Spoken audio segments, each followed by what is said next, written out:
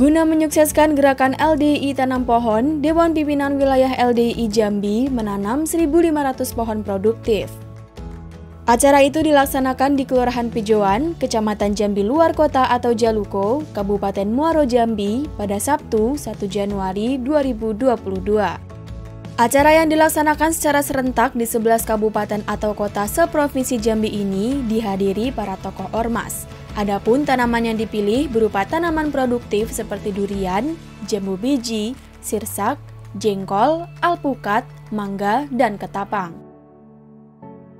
Menurut Ketua DPW LDI Jambi, Rahmat Nurudin, kegiatan tersebut merupakan upaya mendukung program penghijauan pemerintah dan membangkitkan semangat untuk menjaga kelestarian lingkungan khususnya di Provinsi Jambi kegiatan ini merupakan kegiatan rutin yang dilaksanakan oleh LDI sebagai wujud kepedulian LDI terhadap lingkungan.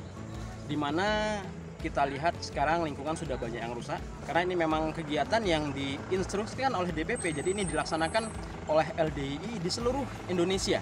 Dengan adanya kegiatan-kegiatan ini LDI memberikan kontribusi yang nyata yang baik baik itu terhadap masyarakat maupun terhadap pemerintah di bidang lingkungan hidup. Rahmat mengatakan bahwa kegiatan ini sangat penting karena pohon adalah salah satu sumber kehidupan dan penghidupan.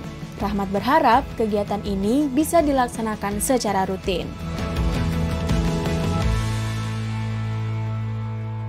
Klik like jika menyukai video ini dan subscribe untuk mendapatkan berita terbaru dari LDII TV.